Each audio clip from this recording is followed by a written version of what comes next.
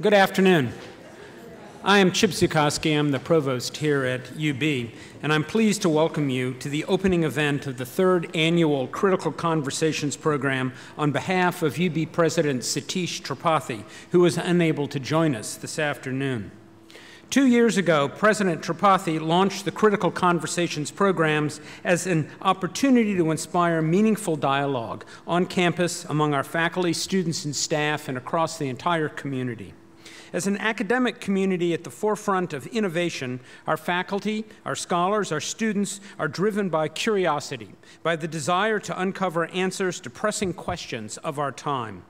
This year's program continues the tradition of inviting to campus prominent scholars leading the conversation on broad ranging issues that matter deeply, not only leading the conversation within our university community, but also in our entire society.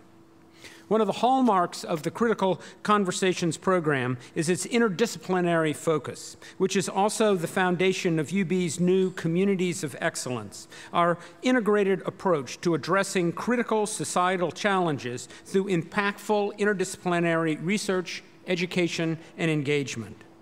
The subject of today's conversation, decreasing global maternal and child mortality, dovetails with the work of our community of excellence on global health equity and thus contributes to the ongoing conversations and concern on the campus. We are delighted to welcome our featured guest, Dr. John Borrazzo, Chief, Maternal, Chief of Maternal and Child Health Division in the Bureau of Global Health at the U.S. Agency for International Development. Dr. Borrazzo's job at USAID is truly global in nature. He spends much of his time traveling around the world working to alleviate poverty and improve health outcomes in the vulnerable populations USAID serves. I understand that he has just returned from Africa and that he has foregone a trip to Mexico to be with us here this week. So we're cooling him down before he goes south to warm up again. Um, I want to personally thank him for his willingness to take time out of his busy schedule and be with us for this critical conversation that we're holding today.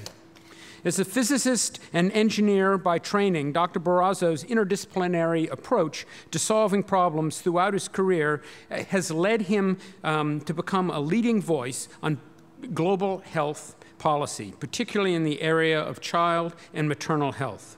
We very much look forward to Dr. Borrazzo's insights and perspectives on those important global health issues. I would also like to thank Dr. Pavani Ram, um, Associate Professor of Epidemiology and Environmental Health and Director of our Community of Excellence in Global Health Equity, for moderating today's discussion and her efforts to bring Dr. Borrazzo to UB. Sincere thanks also to our panelists for participating in today's discussion. So they are Mr. Bazan Lin, Program Coordinator of the Burmese Community Support Center and a UB alumnus. Um, Shanta, Dr. Shanta Musid Musad, um, Assistant Professor of Social Work. Dr. Sarah Robert, Assistant Professor of Learning and Instruction in the Graduate School of Education, Dr. Luke Scannell, a UB doctoral student in Civil Structural and Environmental Engineering, um, and Dr. Corydon Smith, um, Associate Professor of Architecture uh, and Planning. Um, I'd like to extend a special welcome to members of the local community, um, plus Dr. Marge Wingler and her husband Paul, who are over here, um, who are here from California. Dr. Wingler is a member of the Dean's Advisory Council and a graduate of the College of Arts and Sciences, and her impressive career included an NIH fellowship and multiple scientific leadership roles at the biotechnology firm of Genentech. Dr. Winkler's success and um, the research of the other women panelists may be of particular interest to our very special guests, more than 30 students from the Honor STEM program at the Sacred Heart Academy. We are especially delighted to have you with us and hope to see many of you, as I've been saying, enrolled here at UB when you graduate. So thank you very much for coming.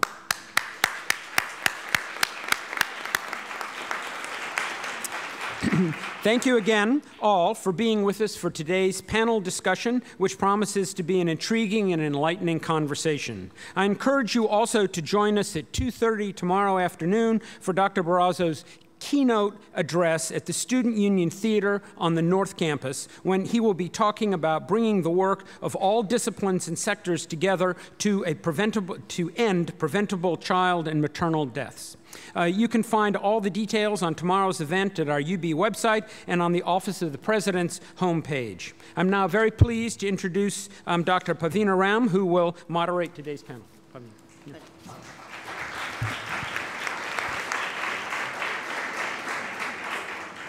Thank you, Provost Zukoski, and thanks all of you for being here today. I'm really pleased um, to be able to welcome Dr. John Borrazzo, who I've known for a number of years now. Um, and John has just always been such a thoughtful uh, colleague, and, um, and I, I think that for our newly launched Community for Global Health Equity, this couldn't come at a better time for us to speak to a leading thinker in the, in the space of maternal and child health, which remains a, an exemplar of inequities around the world the reasons why mothers die during childbirth or during pregnancy, and the reasons why young children continue to die of preventable deaths are essentially attributable to inequity. And so I think our opportunity to learn from John is, is really, really critical at this key time as we launch our newly launched community for global health equity. So I just wanted to take a couple of minutes because there are some new uh, folks in the audience who haven't heard about this community of excellence. Um, so I'll just take a couple of minutes to tell you a little bit about that, and then we'll move on to our uh, panelists who will actually be taking up the bulk of the time. Um, what we'll do is, um, after each of our panelists, we'll take one qu clarifying question, and then Dr. Borrazzo will offer some reflections, and then we'll open up for a broader Q&A or discussion. Um, and so we'll have microphones available um, for questions and also for discussion time. Okay? Um, so our, this is one of the three newly launched communities of excellence, as Provost Zukoski has mentioned. Um, I wanted to uh, thank the Provost and the Vice Provost for, uh, the Vice President for Research and Academic Development and the Senior Vice Provost for Academic Affairs for all of their thoughtful efforts in developing this Communities of Excellence program. Um, also, sincere thanks to Connie Holloman, who's the Deputy to the President, who's done a tremendous job in um, organizing Dr. Borrazzo's visit. We really deeply appreciate it.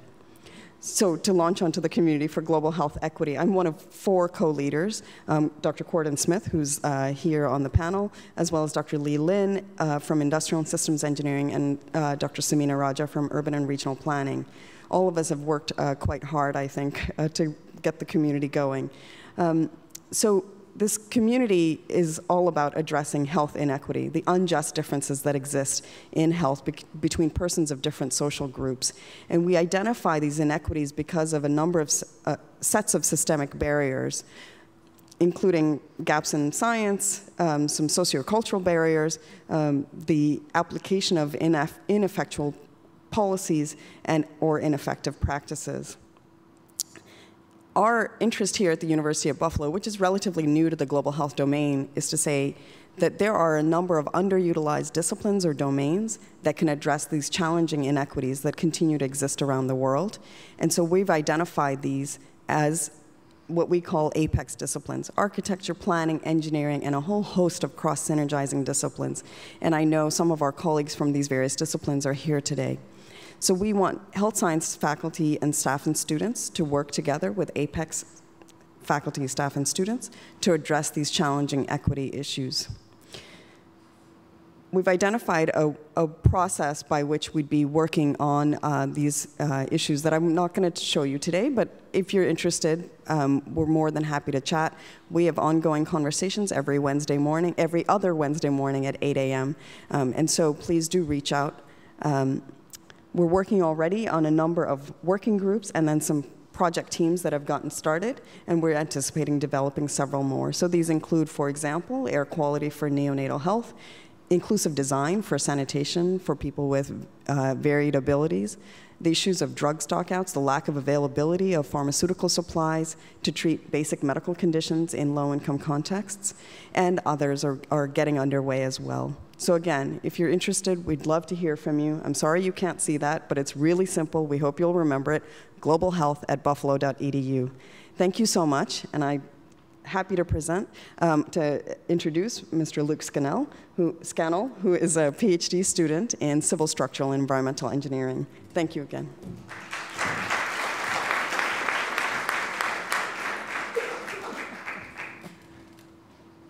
Okay. thank you for the introduction. Um, today, I'd like to talk about a certain challenge that six, over 660 million people lack access to clean water.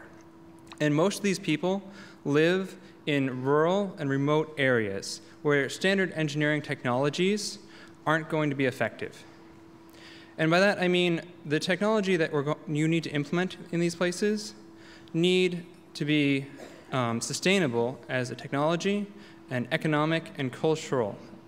The people need to be able to make it there, use it, and it needs to provide something to them. And we like to call this an empowered, sustainable approach to water treatment.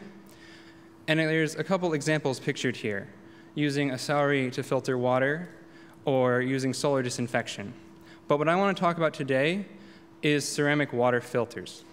And that's what I mostly work with. You can imagine these very similarly to a clay pot. You have local clay, water, and you fire it just as you would with any pottery. So a lot of this stuff to make this is already in place. The difference is that we add an organic material, such as sawdust, rice husks, or anything locally found that can be broken down to the appropriate size.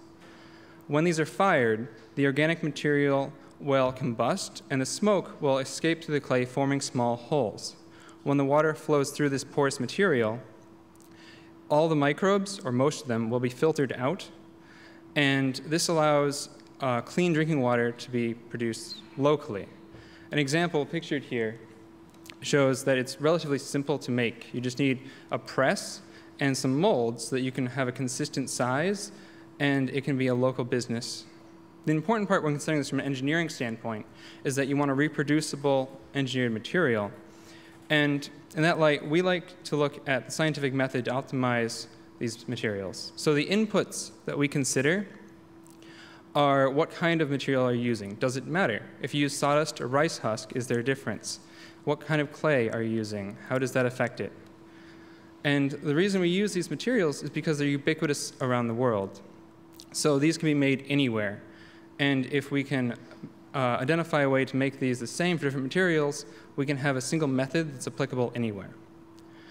Also important when considering the outcomes, we look at the specifications by international organizations, such as Potters for Peace. And they recommend having a flow rate between one to three liters per hour and at least a two log removal. And I'll go into that a little bit in a moment.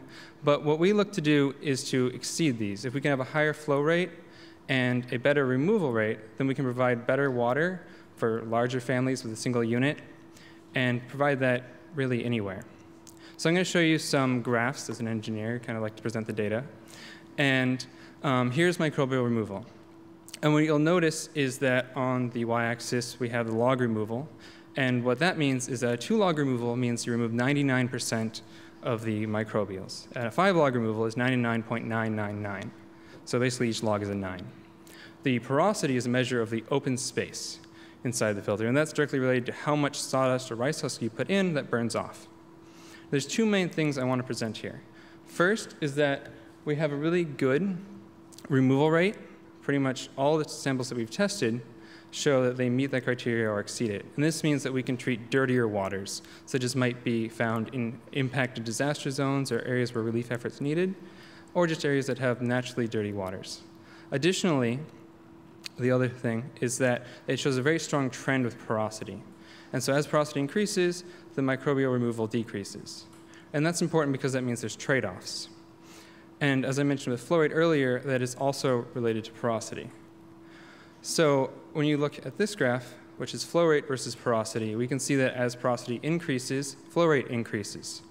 And that's important because that means that this trade-off, you can have a filter with very high flow rate, but with worse removal rates, or with lower flow rates, but higher removal rates. And finding that balance and optimizing the filter to provide the best middle ground is what we're looking to do.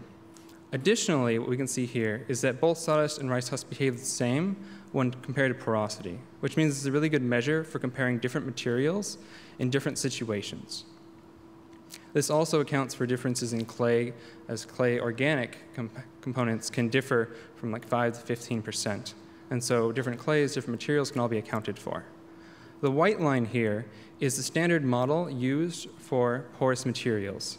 And so this means, because it fits the data so well, we can take the um, data we've collected and compare it to all the background with flow through porous medium, and in that way design a filter that can provide better water uh, with higher flow rates pretty much anywhere around the world. And with that, I'd like to thank the individuals who worked on this project with me, and I guess we're taking one question.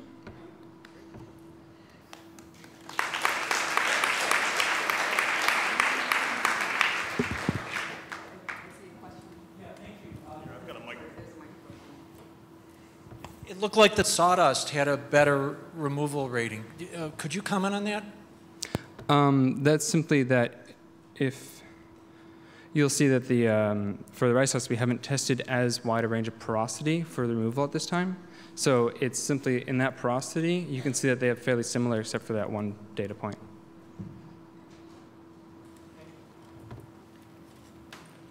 Thank you. Can you hear me out of this microphone? Okay, Great. Okay, so next I'm really pleased to introduce Dr. Corydon Smith, who's going to talk about ambitions for a civic architecture. And as I mentioned, Dr. Smith is one of the other co-leads of the Community for Global Health Equity and is serving as the Associate Director. Good afternoon, everybody. The work that I'm going to show, I'll show a series of images of uh, work that I did in Rwanda with students and colleagues uh, that, that I had, as well as students and colleagues in Rwanda, after I go through a couple of slides at the very beginning. As a student of architecture or an aspiring architect, one might be drawn to images like you see on the screen of the stadium for the Beijing Olympics, known as the Bird's Nest, at a cost of a half a billion dollars, billion with a B. But the image masks consequences, both positive and negative. That 1.5 million residents were forcibly removed from their, from their homes in order to construct the stadium. And at the other hand, that Michael Phelps and his teammates would not have broken the records that they did without the specific design of this pool. The point is that design does not simply fulfill a functional need, but has the potential to be disenfranchising and empowering. Architecture, planning, and design influence the ways that we learn and how we socialize, human safety and human health, and hum humans' fulfillment of their aspirations. What if we were to direct the kind of creativity that's required to produce something like this and to apply it to places with much greater need? such as the informal settlements where 2 billion of the world's population live. How might we start and how might we approach that work? We might start by conducting research on local building traditions, in understanding natural and constructed landscapes, in understanding the ways that existing neighborhoods and social networks are organized in sketching out the activities of daily life, in understanding patterns, in uncovering both hidden beauty and the hidden intelligence found in a local setting. The assembling of that knowledge into culturally specific, technologically appropriate, and economically feasible prototypes is what we're after. Seeking to make communities that are healthier and more efficient, yet still aspirational.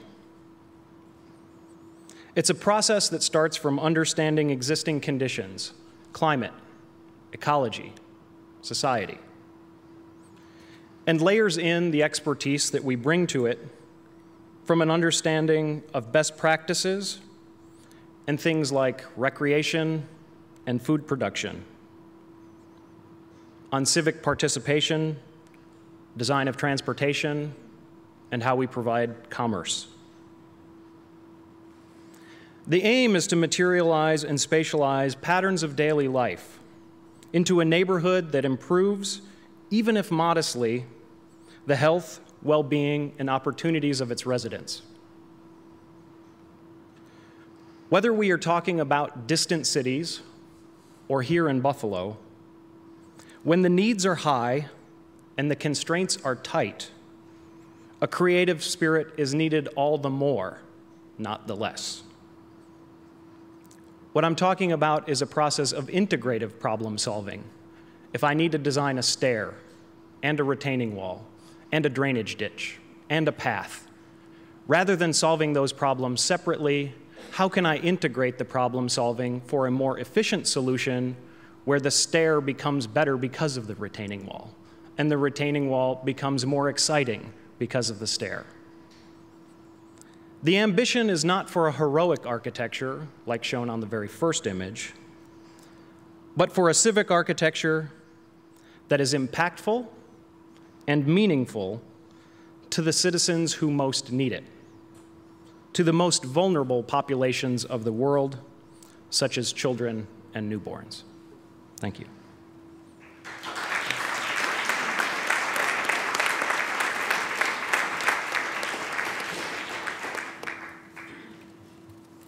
Thanks, Corey. Could I entertain a question from the audience? Perfect clarity. Thanks. There, sorry, there's one. Microphone. She's, she, she's not allowed a question.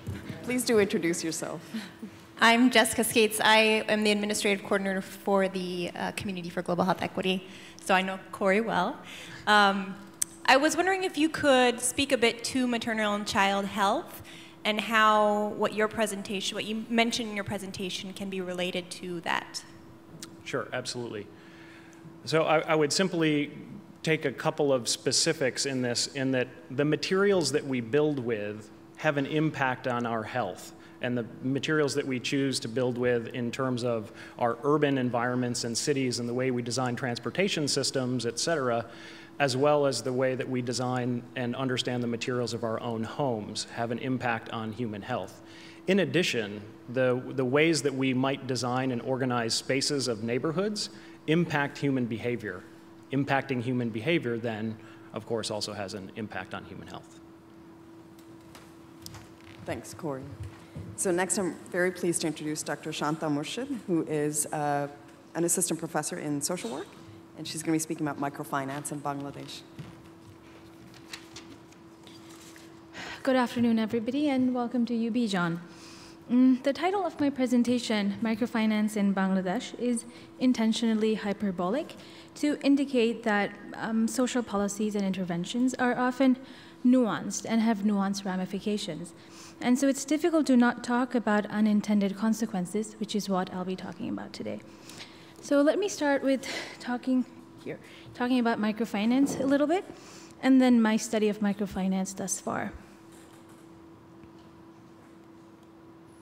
So, what is microfinance? Um, microfinance is an economic intervention that is targeted to poor women in Bangladesh with two goals of poverty reduction and uh, women's empowerment.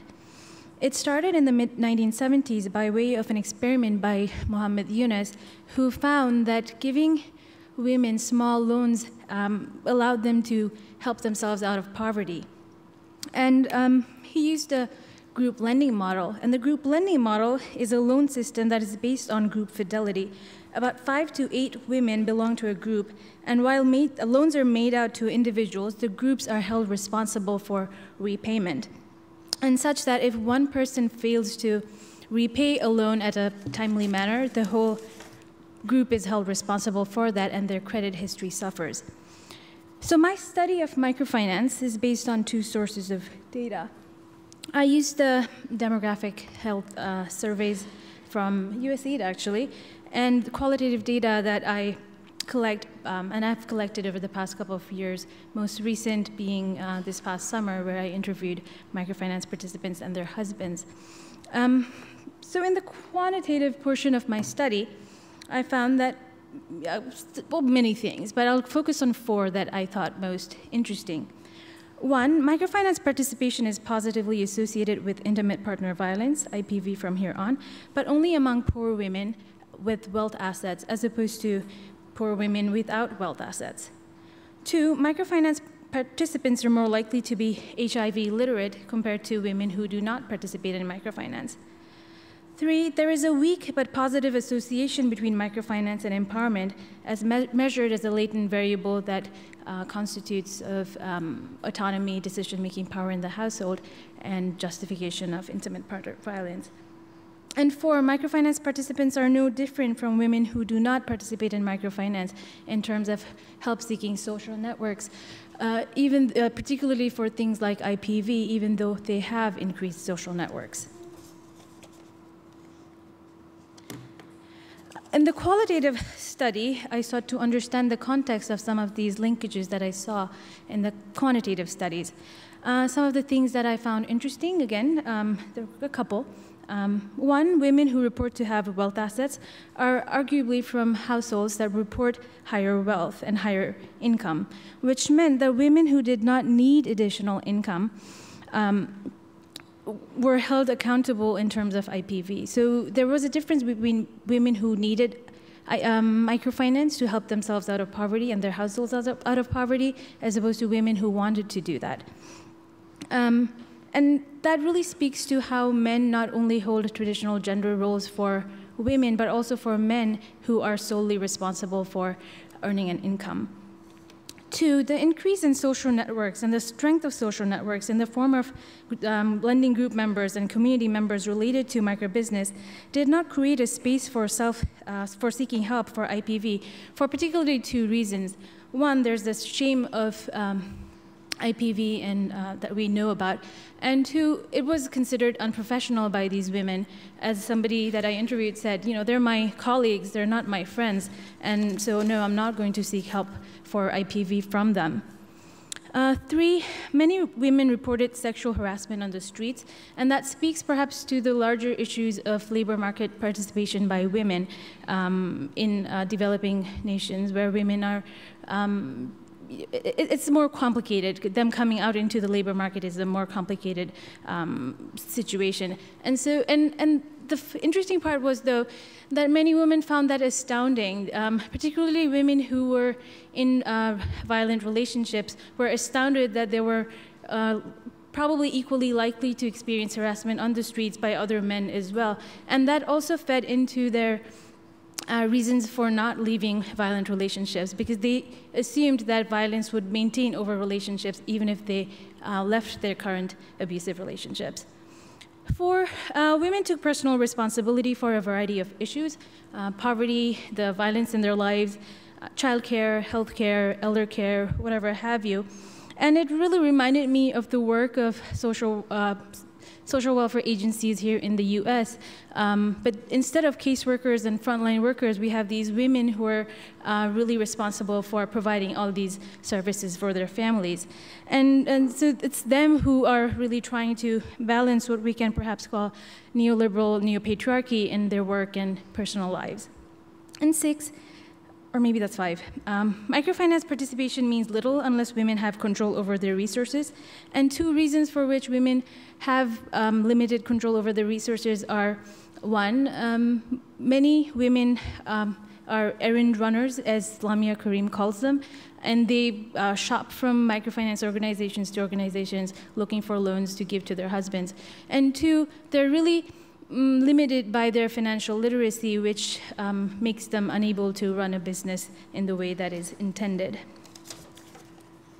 So, in conclusion, I have a few that's the parliament building of Bangladesh. And uh, I have a few policy recommendations very quickly. One, microfinancial services need to be bundled with relevant interventions. We see this in resource rich countries like South Africa. This needs to happen in Bangladesh as well. Two, microfinance participants need to be made financially literate through literacy programs. Three, men need to be included as part of microfinance, and as well as the larger campaign to empower women. They're involved anyway. It, it's time to bring them into the fold. Four, NGOs and microfinance organizations need to be held accountable for the goals that they set and how they go about achieving them. And lastly, we cannot be okay with the bare minimum. We need to think about poverty and health outcomes in the long run. Um, I've met microfinance participants who've been um, participating in microfinance for over 10 years, but they live in slums and they're, um, they're still under the poverty line. So that has to change. Thank you. And thank you. And the most important thing is to ask questions, so if you have any. Thank you. I see one question in the back. Is there a reason why you chose Bangladesh and not, say, another place in the world to study this? Was Well, there a- Bangladesh is really the birthplace in the recent um, you know, um, years. Uh, it started in the 70s. It's also the oldest, so we have more evidence from Bangladesh than really anywhere else. Okay, thank you. Thank you, Shanta. And I'm pleased to introduce uh, Dr. Sarah Robert from the Graduate School of Education. She's an assistant professor of learning and instruction. And Dr. Robert will be talking about reimagine, people, problems, policy. Thank you. Uh, okay. There we go. Hmm. Well, thank you, Dr. Ram and Dean Lee of the Graduate School of Education, uh, Provost Zukoski, and President Tripathi for the opportunity to insert teachers and schools into this critical conversation. Schools are key institutions for wh- from which health and health education initiatives are launched. This is because of the symbiotic relationship of health and education. Each needs the other to thrive. With my brief time, I ask that you reimagine that symbiotic relationship from the perspective of teachers in public schools, which are oftentimes overlooked or a silent partner in maternal and child health interventions. I'll provide examples and questions from studies I've been conducting over the last decade that emanate from teachers' perspectives specifically and come from metropolitan Buenos Aires, Argentina. So, again, let's reimagine people, problems, and policy so as to forge global equity. First, reimagine people. Who is involved in interventions? How? What resources do they bring to efforts to address inequity? In a study in which I examined how neoliberal reform transformed teachers' work, teachers often began conversations with this quote I don't know policy, but. And afterwards, I had to read many pages of transcripts in which they described with astute detail the movement of global to local ideas about education and health equity. They also described the decision making process behind how they engaged with those ideas and those policies and transformed them in the everyday work of educating a population. But teachers did not consider themselves to be policy savvy, to be a part of the policy process, nor did they envision themselves as a, possessing a policy knowledge domain. This was despite going after resources to address students' social health and well being. And that needs to change for teachers, and I can work on that by facilitating learning of policy in teacher education, but I hope to also encourage public policymakers to do the same because teachers were knowledgeable of policies related to education and health. Teachers did not distinguish the two because they noted that if children were hungry, for example, they would not learn. Therefore, teachers did food programming despite their need to teach more, and this is particularly acute in a global context of accountability and the need to learn more and learn particular knowledge. And teachers did so despite a lack of acknowledgement of that work. Interventions must ask who do we need to get involved in our projects? What will we ask of them? What knowledge do they possess that we do not? And this segues to the next item reimagining problems. Now, policy is a problem solving endeavor, so think of it, think of it as um, uh, problem solving 101, really. Here, the questions I wish to bring to the fore are who is defining the problems that interventions are targeting, and for whom? In another study I conducted with an Argentine pediatrician who specialized in eating disorders, so she was tasked and given a, a crew of public health officials, and their task was to reinvent the uh, century old Argentinian national school food policy. And I just happened to come upon this study and what she was doing. Um, so we set about to uh, ask and to compare teachers and the public health officials' definitions of what the problem is that this national school food policy should be solving. And what we found were that they had completely different definitions of what the school food policy should be targeting. Um, the teachers identified a lack of access to food in their schools, whereas the public health officers identified obesity, the global epidemic of obesity, and then a lack of access to nutritious food as being the problem that the program should solve. Now, both are perhaps correct. The aim here is to emphasize the need to create policy from more voices, also, intervention should have built-in mechanisms for redefining the problem and for basically rebooting in the field if that definition needs to be tweaked. And teachers can help with that. However, we need to reimagine policy. Actually, we need to reimagine policy is just a lot of work. Um, so policy shouldn't, and also policy should not be personified because people do policy.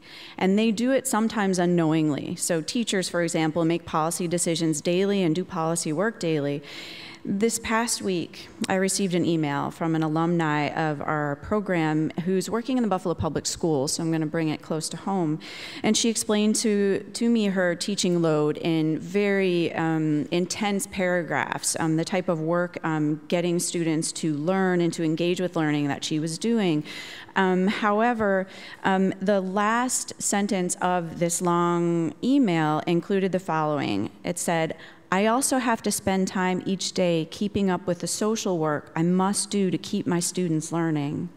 So it seems that teachers, even close to home, are experiencing the symbiotic relationship of a need for health equity and a need for educational equity. Um, and it's a lot of work on top of the primary task of teachers, which is to educate youth. So, to conclude, my hope is that schools' vital role in efforts to address maternal and child health concerns is acknowledged. I see so much possibility for connecting the dots differently to cultivate a dynamic symbiotic relationship between global health and global education equity efforts. Thanks. So much. Yeah.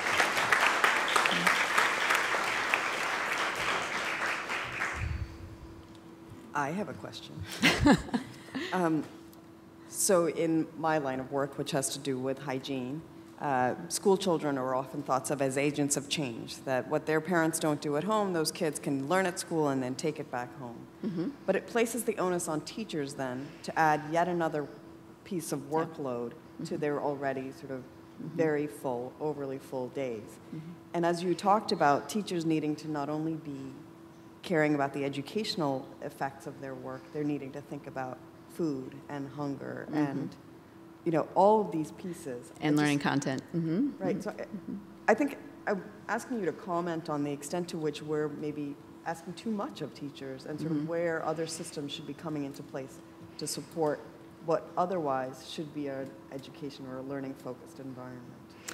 Um, so I'm going to pull from the past. So um, Paulo Freire, a Brazilian, uh, well-known Brazilian educational theorist, theorist and activist, um, became the educational secretary for Brazil. Um, and the first thing he had to confront was a teacher strike. And um, what he did was he sat down with the teachers and he said, what do you want? Um, tell me, tell me what we need. And um, in the process of turning that question um, on them, on the teachers, and also acknowledging that teachers weren't uh, protesting just for their own needs, um, he got a long list of mostly the social and health uh, shortcomings of the public education system. So I think it's a matter of acknowledging teachers are willing and already doing a lot of that um, public health work. And I, I think that you'll still get a buy-in from them to continue to uh, work with public health officials.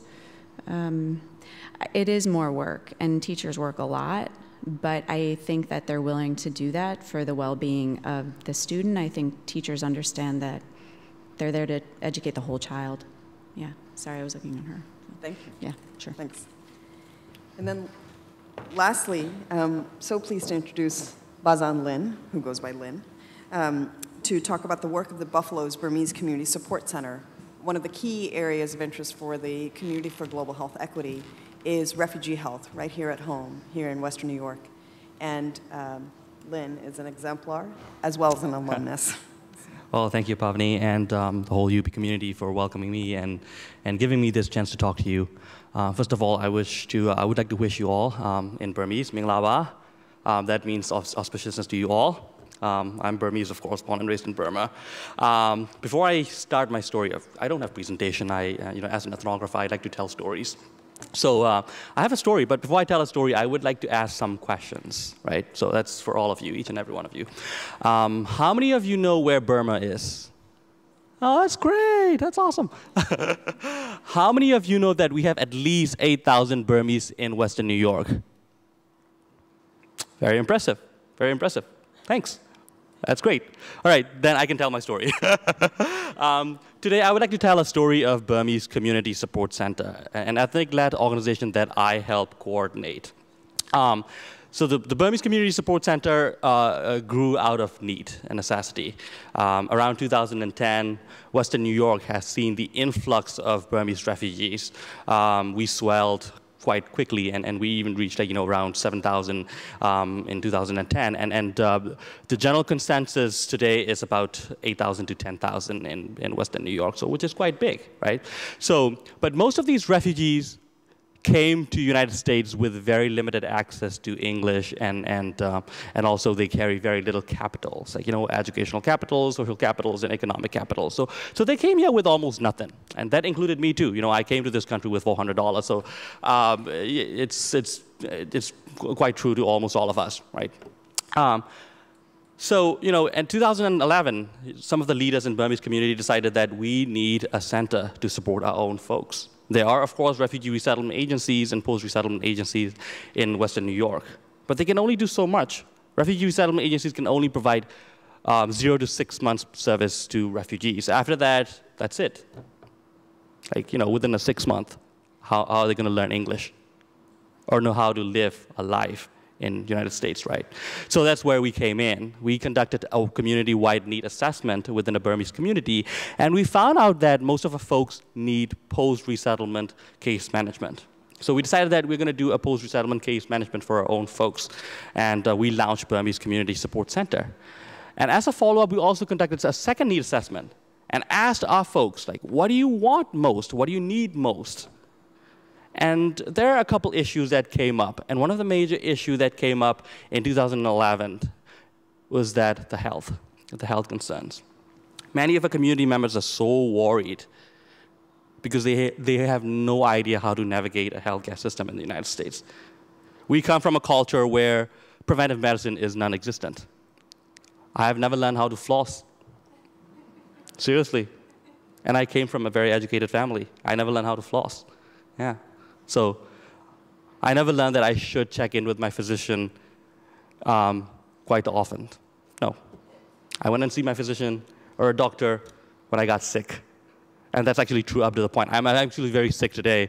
Um, so I went to Michael Hall yesterday because I realized that I got to go, go see a doctor. So that's how it is. So these are the difficulties that we have.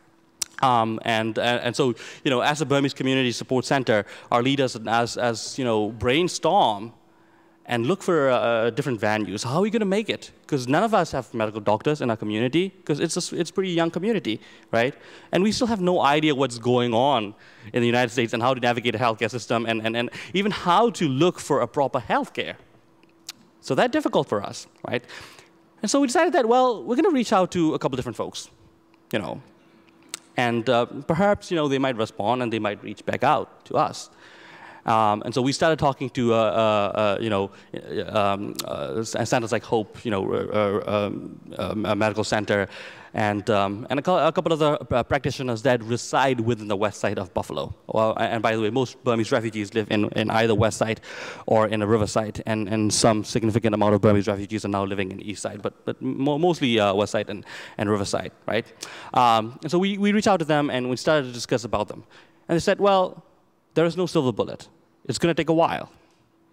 But you have to keep walking. And that's what we did. And that's how we reached out to UB.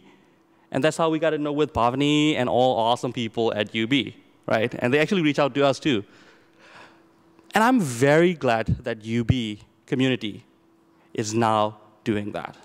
Back in the day, we didn't see UB in our community. No.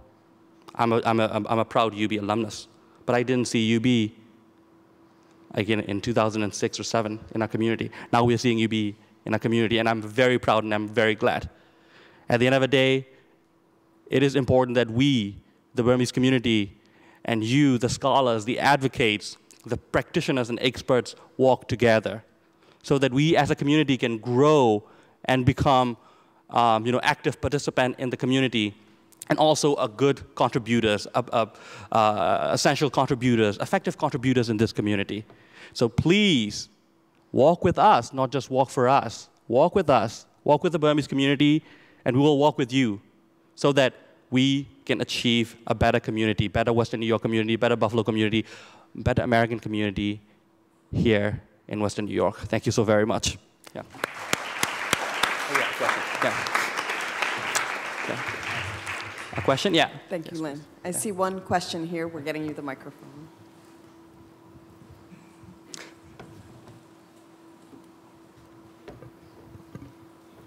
Hi, my name is Dory Marshall. I'm a psychiatrist um, with the university, and I work at ECMC. And my question to you um, certainly has local relevance with the Burmese community and other immigrant uh, peoples, but I think it has a, an international um, component too, and that is I've seen a number of Burmese patients and, and other immigrant patients as well who don't have words for depression or schizophrenia. They don't have a way to describe mental illness, and they mm -hmm. might mm-hmm. just deny outright that there's ever been mental illness in their family. So. Uh, yes, exactly. So that's another big issue in our community, mental health. It's, it's, it's, it's huge. The reason why it is huge is because we have this, this taboo, this, this uh, um, uh, a social stigma relate, uh, uh, uh, attached to mental illness or mental health, right? So um, it's, it's hard, and there, it's such a hard nut to crack. We still have no idea. We're still trying our best to tell our folks that it's okay, it's okay if you have a mental health issue. To be honest, my mom has mental health problems a lot because she is fighting, she has been struggling with, with um, depression for quite a while. And she, and e including my dad and, and, and most of my family, is still trying to refuse that, that she has it. So it's, it's huge because they don't want to be associated with that social stigma. Like, you know, they don't want to be called a crazy person.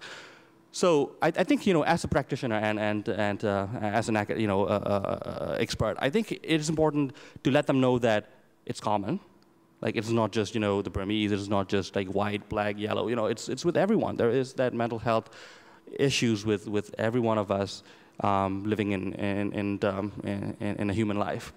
Um, so if we could relay a message that it's okay, come out, let us know that you have those issues so that we can solve and we're not going to see you as a crazy person, or we're not going to, um, you know, put that term like, you know, uh, yeah, you're a mentally ill person um, I think that, you know, that's going to change a lot.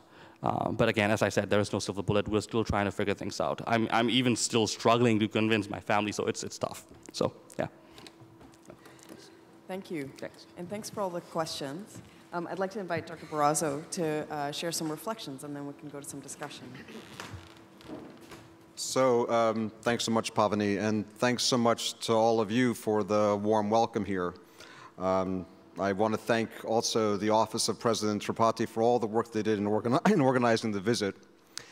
And I have to say, it's really impressive to see what the premise is of what you're trying to do here. And I think that this opportunity, I think the idea of the critical conversation and the idea of trying to foster uh, dialogue, dialogue both internally to the university across disciplines as well as between the university and the community is really impressive. Um, it doesn't happen often enough. It's very challenging because, we, because all uh, my experience with interdisciplinary work is that each of the disciplines has their own way of communicating. But fortunately, there seems to be some opportunity, and I also look in the back of the room and put the, see the students' first motto in the back, and this is, reminds us that this is a place where you actually have the opportunity to influence generations to come. So if you if you don't end up at the University of Buffalo, but even if you do and then you want to leave, come work for USAID, and hopefully I'm going to advertisement for that. So I also want to thank uh, the Provost Chip, Chip for his gracious introduction. Uh, it's a little bit humbling when you're by reference when you hear references to prominent scholars.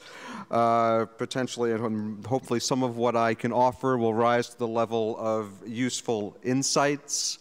Um, but I do hope that my 22 years of working at USAID and international development can offer something about the way these kinds of interdisciplinary conversations can be most effectively brought to some fruit. Because that's what we're really striving for. We're not just trying to talk, we're trying to talk in a way that's going to be constructive and bear, and bear some fruit and, bear, and have some action, which is um, and actions that um, will have the greatest impact on what we're really all trying to do collectively, which is improve the lives of people, both here in the U.S. as well as around the world. It was really interesting to uh, hear some of these presentations. I think they're, they're actually, it's quite a diverse collection of different, different perspectives. Um, Pavani, I really like the language of the leveraging underutilized domains. I think that's really what, what this is all about, as, as opposed to having one-dimensional conversations, remembering about all these multiple dimensions. And I think that's something which is the core and the challenge of interdisciplinary work.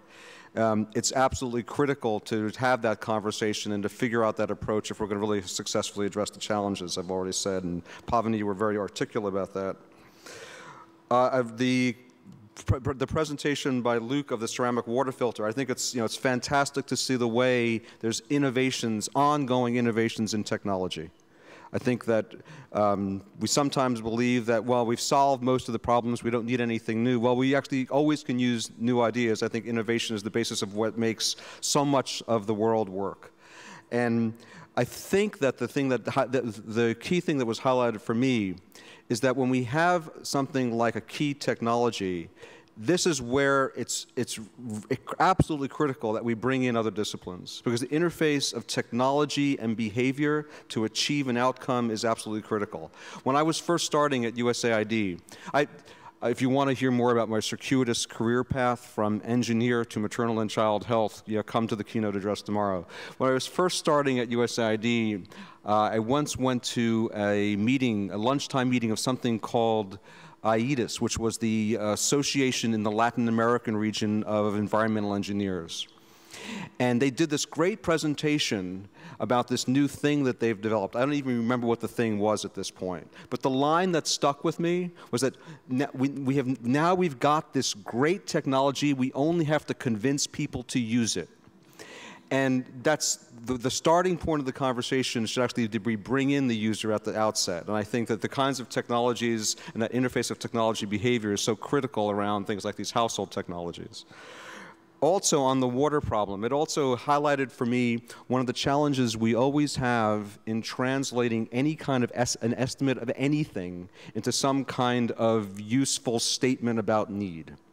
So the statement that there are 660 million people without safe water, it's actually probably many more people than that that don't have safe water. I mean, we've, as Pavani said, we've collaborated for a long time. We have once, we've once collaborated, I think, on a study in Haiti and water quality in Haiti and showing that people who even purportedly had access to what was deemed to be safe water, when you actually looked at it, it wasn't very safe.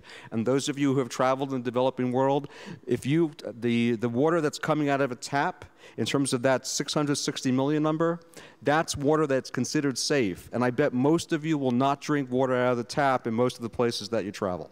And it's probably a wise decision. that's right.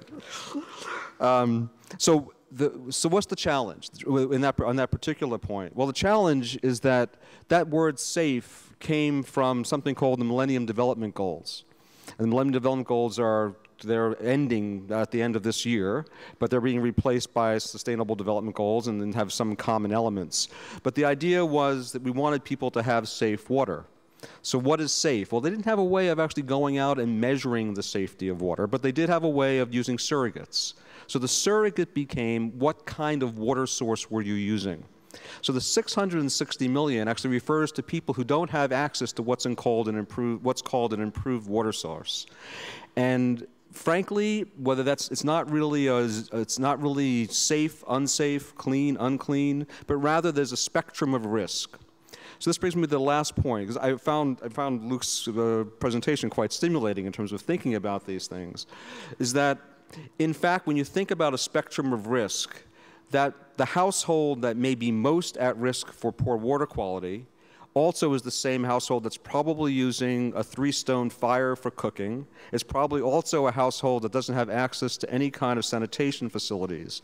And so we have to, when I think, when we think about this household technology problem, try to look at the full package of either technologies or behaviors and everything that goes into helping that household become a safer and healthier place for people to live.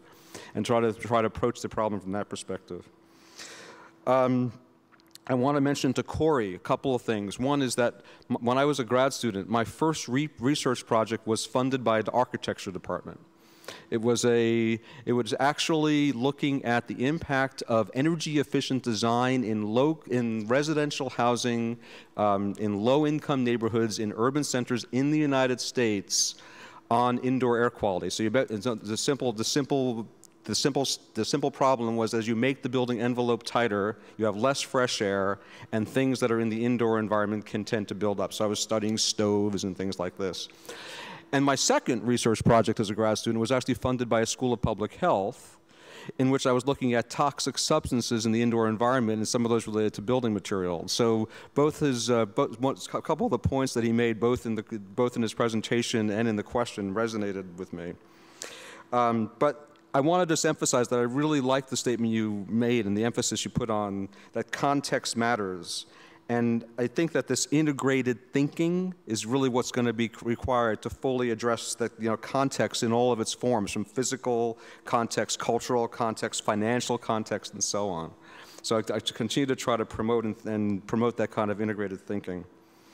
Nadine, I want to say thanks for uh, using the DHS so effectively. The DHS has been something, demographic and health surveys have been supported by AID for 30 years now.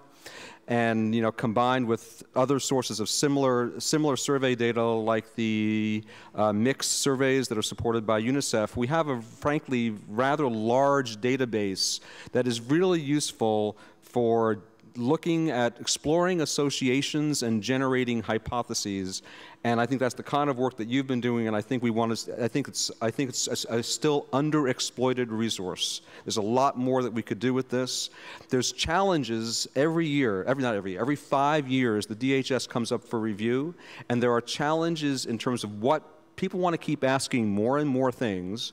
The surveys cannot get longer and longer, but you don't want to delete the old questions because you want to be able to compare changes, compare things and changes over time. So it's, um, it's just a challenging problem. But I do think that uh, if you're not familiar with the DHS, the work that they've done, not only in terms of the individual surveys, but also they have analytic reports and comparative studies. There's a number of different things that they've already done, but certainly you can come up with your own questions and get full access to those data sources and really try to figure out, you know, what are some new things that people haven't really even thought about, but that we actually think, you know, potentially there's something there that should worth, is, merits further exploration. Um, Sarah, I appreciated that your uh, presentation reminded us that teaching is not a one-dimensional thing and that we need both health and social system support for teaching to work effectively, um, and that and I think you know Pavani's question about it, but that in general, globally, this connection between education and health, that linkage in both directions, is critically important, and certainly something I want to pick up on in terms of talking about intergenerational child and maternal mortality. Uh, we know that uh, less educated girls become less are less educated women and that they are the, the mortality risks for both them and for their children are much higher. So this that intergenerational that intergener, inter, intergenerational links between health and education, I think, are something we continue to uh, continue to explore. Lin, I want to just, uh, I just want to emphasize that I really felt that I you know, really drove home the point that knowledge is not behavior. I know how to floss, and I don't do it often enough.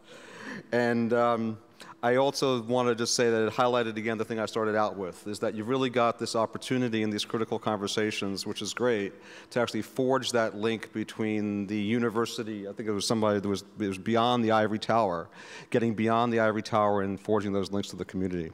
So I'm looking forward to our continued discussions in small groups.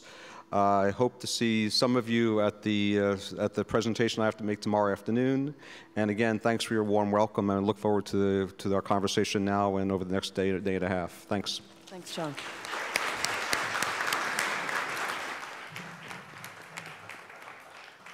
Thank you. So the floor is open for comments, for questions, provocative statements.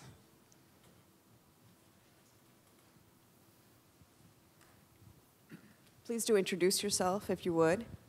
Yes, I'm Bob Genco. I'm a professor of microbiology and dentistry in the dental school, and uh, done a lot of work with uh, dental disease and, and uh, chronic uh, non-communicable diseases showing a relationship. And I have a motto. It says, uh, eat no fat, walk your dog, and floss your teeth. My question is, um, uh, the Millennium Development Goals seem to work reasonably well from what I can understand. And they're being reviewed and analyzed now. and uh, do you have some comments as to maybe why they work so well, if you think they did, and also the replacement, I forget the acronym, but it, it seems to be less uh, defined and more diverse and dispersed. And I just wonder if you think it's going to work as well. So I bet that question was for me. So I'll, uh, I'll start. So I, I, I, now regret making any reference to flossing. But the, you know, the MDGs were a little bit curious in one sense because the Millennium Development Goals were adopted in the year 2000, but the baseline was set to 1990. So when they were adopted, they already knew how far they had come in the first 10 years of the 25 year period from the Millennium Development Goals my perception is that they've worked well in some spheres. They've worked well for the health goals, MDGs 4, 5, and 6. They've worked pretty well for the water side of the, uh, the water target that was part of the environmental goal, which was MDG 7. The way that they worked well, though, was that governments started paying attention, my read on this, about the year 2007, 2008, when, it started to say, when they started to look at, oh, we've got some systematic reporting that's coming out saying how close are countries to achieving the MDGs. And that's when that started. There was a couple of there were a couple of different ways in which that was done. One was the uh, joint monitoring program of UNICEF and WHO on the water side, and then there was the countdown to 2015 reports that came out. Uh, it was a, a, an academic group, but also loosely associated with uh, the Partnership for Maternal, Newborn, and Child Health. And so as as countries started to focus their efforts, you started to see more deliberate um, acceleration of the coverage of key interventions that would relate, relate to those outcomes. And you can see the overall impact. If you compare the acceleration, I mean, compare the rate of reduction in mortality from 1990 to 2005 versus 2005 to the present, you can see in many countries that there was a very marked acceleration. Now, part of that in some countries was due to the fact that there were some issues that got a lot of money. So one of the things that kicked in around 2005 was a very focused effort around malaria. Malaria money mattered. And you know, more, malaria contributes you know, seemingly on the range of 20 to 55 percent the mortality reduction in endemic in countries in Africa where malaria is endemic. Um, so that was one that was one key factor. Then there's Uh, and so, yes, in one sense, they have been very successful, and they, they achieve what they set out to achieve. One of the things that was a shortcoming, in my view, of the way the child health and maternal health targets were framed was that they were all relative targets. So you, you, were, you achieved success if you had a two thirds reduction from where you were back in 1990. That was for child, and it was three quarters on the maternal mortality side one of the things that we tried to do when we started thinking about the next generation of targets, and we pushed really hard for this, was instead of having a relative target, to have an absolute target, that every country would be below a certain mortality level, that that was the maximum for every country in the world. And so for a country that in 1990, let's say an example, had an under five mortality rate of 250, and they succeeded in getting down to, say, 240 to make the math, easier, math easier 240, they su succeeded in getting down to 80. Well, then they met MDG 4, they had a two thirds reduction. But an under 5 mortality rate of 80 per thousand is still very high. So the idea for the MDG target, and we pushed this agenda back uh, starting in 2012, we started, to, we started with a 2035 target, getting every country to 20 per thousand or below by 2035. It ended up being adapted for 2030 to be 25 per thousand, every country below 25 per thousand. So when you ask the, the last, just to respond to your, the, your second question, the SDGs, yes, have this, this broader agenda. There are 17 goals. There's 169 targets under those, under those goals. Some of the goals are very broad. I think I've just, I just recently focused on, tar- I think, goals 15 and 16. One is, 15 is protect life on land, and the other, uh, protect life underwater, and the others protect life on land. These are very broad. So what matters is the targets. And so I think that on the health side, we've actually been fairly successful in getting some specific targets incorporated into the SDGs. And that wasn't, you know, if you had asked me that whether we were going to be successful back in June, I would have said it was iffy.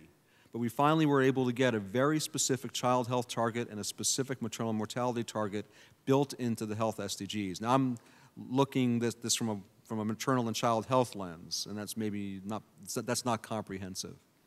So, okay. Thank you.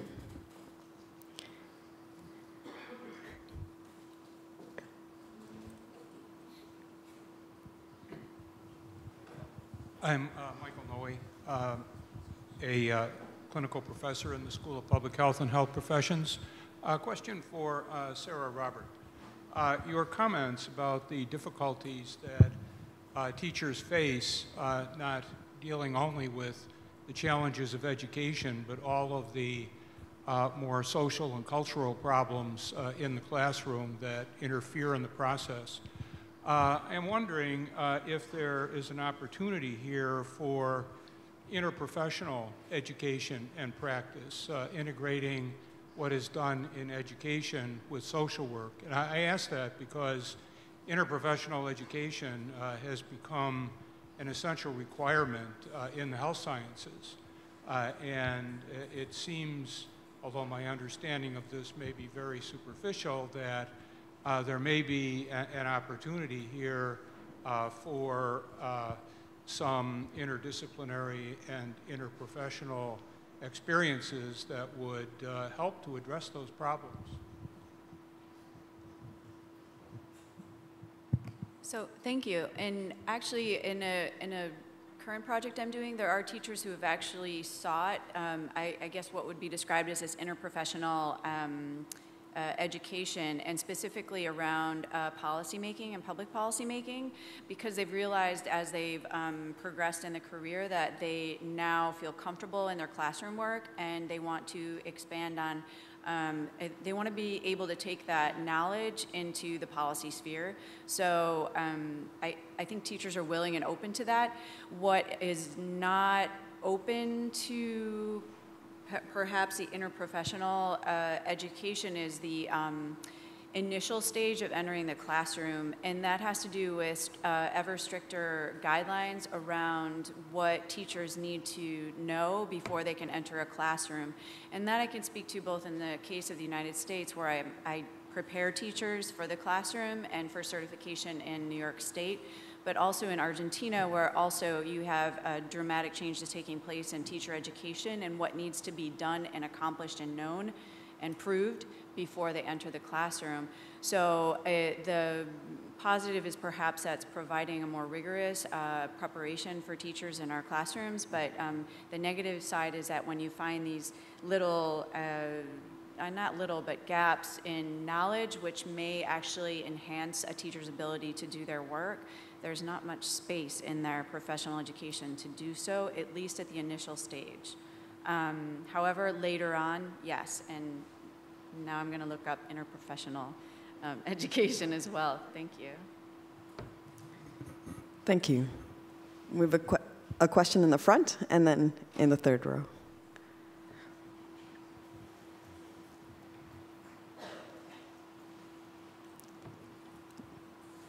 My name is Jillian Farrell, and I'm a senior at Sacred Heart. And I was wondering if there's anything we can do for any of your projects as a high school student to help out.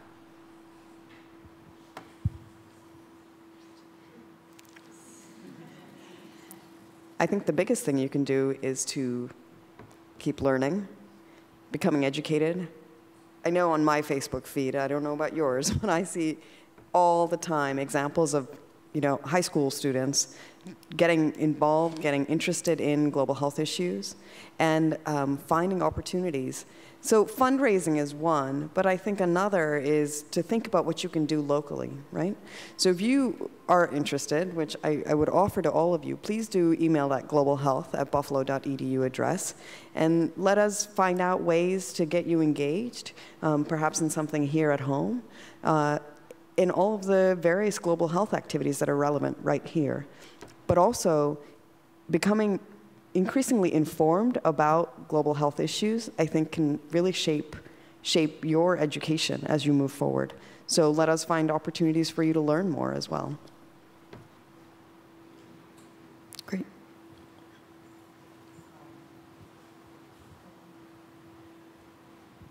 Hi, I'm Vit Vishadit. I'm a PhD student in epidemiology, and my question is um, to Dr. Murshid. Uh, first of all, thank you for your presentation. Some of the findings I find I also found to be very surprising. My question to you is: um, so you recommended involvement of men in the microfinancing process.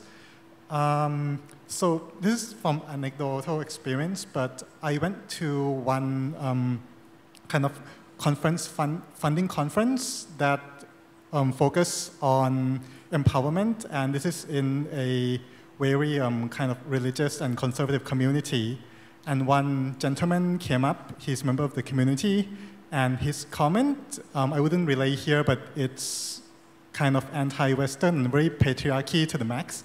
So my question to you is, um, if we involve the men in this process, how can we ensure that like, you know, the microfinance will be empowering to the women and not as you have found to be like a way that like men can further um, put in their patriarchy and um, change, like can actually change um, the situation of the women. Uh, thank you for your question. That's a good question. And um, th that's really the reason why I think men should be brought into the fold. Because yes, men exist and men are partners of these women and they have a, a role in their lives. And so when these women are going out there accessing microfinance and the men are not, uh, particularly when they are unemployed or when they don't have sources of income of their own, it creates what you know, is known as status inconsistency, which leads to dysfunctional behaviors such as IPV and so on. Mm, but with that is the notion that a lot of the development agenda or women's empowerment uh, strategies involve women and women only. So while women have moved forward in terms of their ideas of what it means to be a woman or what it means to work outside the home, uh, what empowerment means, men have not. Men haven't been targeted, men haven't been talked to about these things, and that's really what I mean by they need to be part of the uh, system. Uh, I think in terms of interventions, I think microfinance can be bundled with interventions that target both men and women uh, through which awareness programs can be spread. And this is a long, uh, you know, um, we can talk for hours about this, but I think, you know, um, bringing them into the fold would allow them to understand what's happening in the lives of women. I think they're in the, in the dark, they really are, and they don't know that, you know, um, things are different now or things have changed for women and women think that you know they can have work-life balance and that they can work outside the house men often don't and men, and like i said before you know men don't just have traditional views of gender or gender roles for women they have it for themselves too and so you know i think discussions about masculinity and what it means for them to be men is also an important part of uh, where we go forward Thank you. Good question again. John, did you want to comment? Okay. I should say. I was um, curious about the men exist question. so, you know, in my own work, we've done work on hand hygiene in the newborn period because it's such a incredibly vulnerable time. About you know 45% of all childhood deaths happen in the newborn period in low-income settings. And so we've done observations of newborns in the households, and we see incredibly few events contact between men in the family and the newborn compared to mothers, of course, but also other other adult women and girls in the family.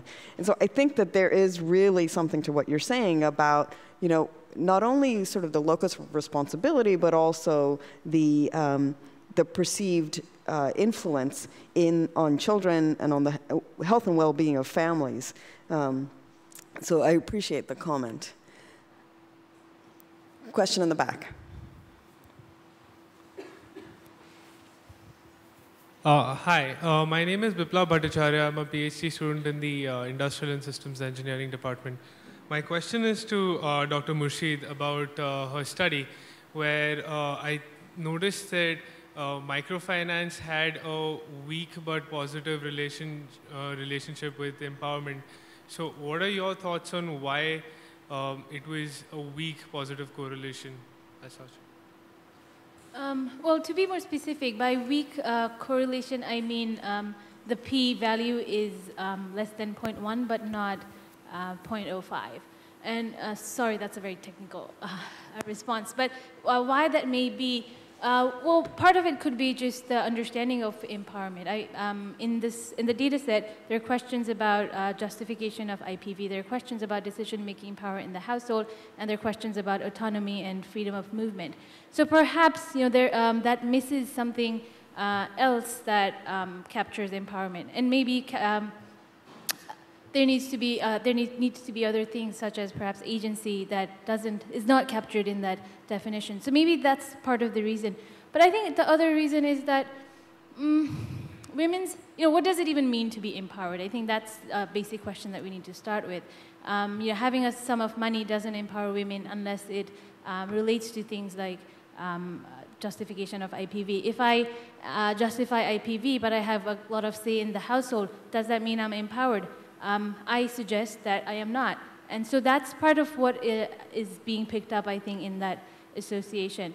So, um, but also if I spread it out, and I've done this, um, and if I look at decision-making power and autonomy and uh, justification of IPV separately, mm, the strongest correlation I find is with autonomy, which again makes sense because they, we, women are going out, outside the house, they have more autonomy, they have freedom of movement, but not as much with decision-making power and um, and IPV.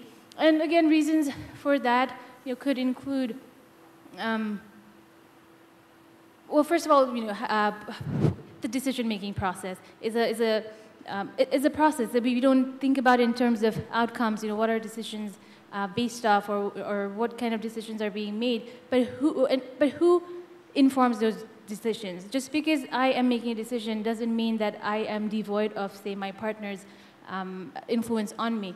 So, and, and the other part is that decision-making power is, um, is often um, directed by gender roles as well. So men often make um, important decisions or uh, decisions about large purchases, for example, as opposed to uh, daily purchases. So all of those things come into play when we're talking about empowerment in my study. So um, it could be a variation and a mix of all of that. I'll send you my paper if you're really interested. Thank you. Yes. Hi, my name is Grace Trumpeter, and I'm a first year medical student here at UB.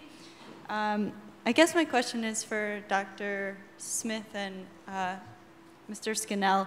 So the title of this is called Beyond the Ivory Tower. So when I think of that, I think about, um, I guess different, we have different levels of the ivory tower perhaps represented here, maybe USA, USAID being one of them and UB being another. And um, so going beyond the ivory tower, I think of getting the community involved, which was um, maybe addressed by uh, Mr. Lin. So in your research, which um, kind of looks at interventions um, directly at the, the individual or household level, how are you incorporating community members um, into your research? So I'll focus on, thank, thank you for the, for the question, and I'll focus particularly on the images that I showed with the, with the work in Rwanda in that case. And again, this was not a project that I particularly went and sought. It was something where there, I had colleagues uh, and, and a particular opportunity to get involved, and colleagues in Rwanda uh, came to myself and uh, my, the students that I was working with. And Uh, so in that case, we were working with the Kigali Institute of Science and Technology, which is, has an architecture program there and faculty members and a group of students. Those students were matched with all of the students that I brought from my previous institution and myself, as well as practitioners and designers working with the, the mayor's office in Kigali, and uh, involved a great deal of what we might refer to as field research or anthropological work, where we were meeting with uh, uh, rural communities as well as urban communities. In this particular case, there's a lot of rural to urban migration that you see in lots of settings right now.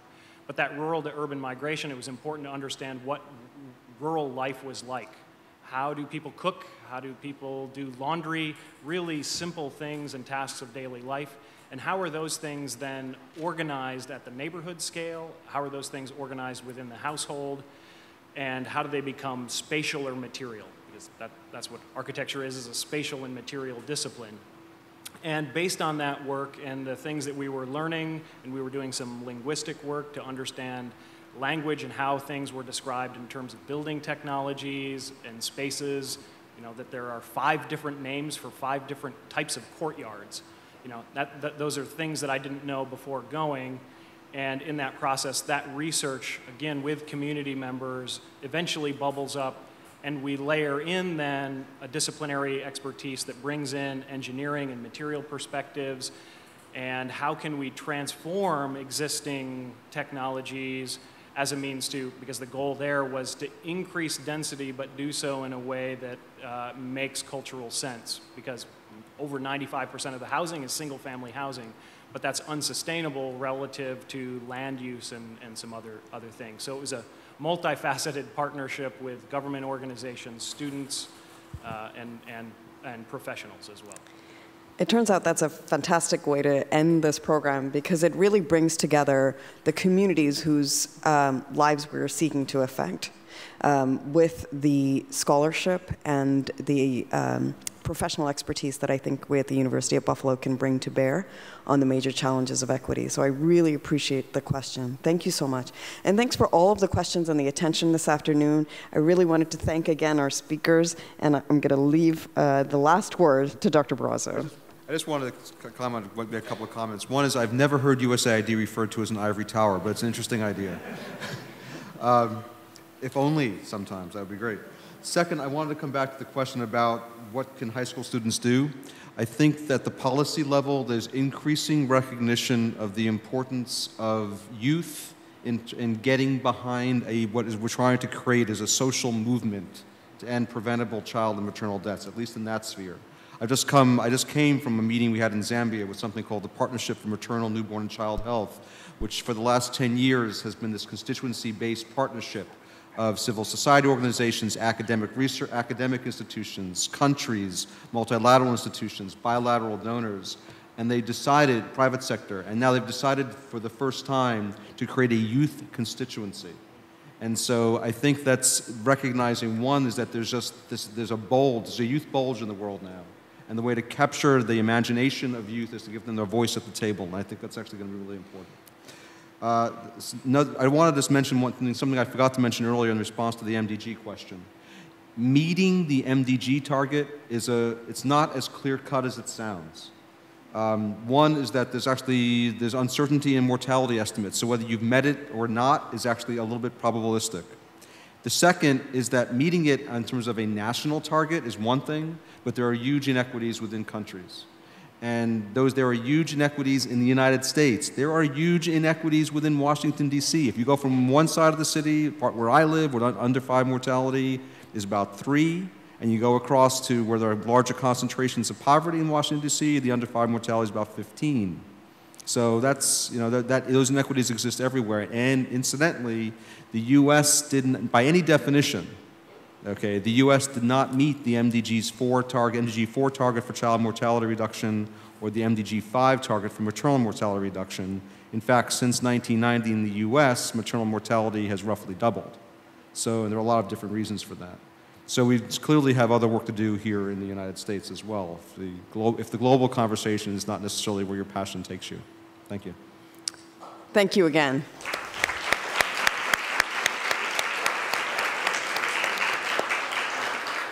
So I think if, if folks want to chat further, we can be available either in the room or just outside. And again, uh, we look forward to seeing you tomorrow at 2.30 on the North Campus in the Student Union Theater for Dr. Borrazzo's keynote speech. Thank you.